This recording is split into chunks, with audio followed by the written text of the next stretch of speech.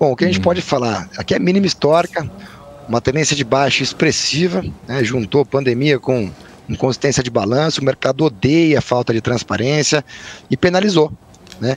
É uma empresa que tem um potencial, já falei dela, para se. É, melhorias, digamos assim, mas o que ela vem apresentando de nos últimos é, balanços realmente não convence, é, não está dando frutos, o mercado penaliza e vai buscar valor em coisas que estão entregando resultado. Aqui não é diferente, aqui é mínima histórica, tendência de baixa, é, nenhum tipo de sinalização é, de entrada de força compradora, pelo contrário, cada vez realizam mais.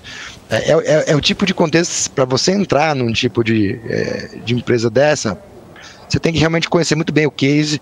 Por quê? Porque comprar algo é, que está caindo desse jeito, você não sabe quanto tempo o mercado vai realizar.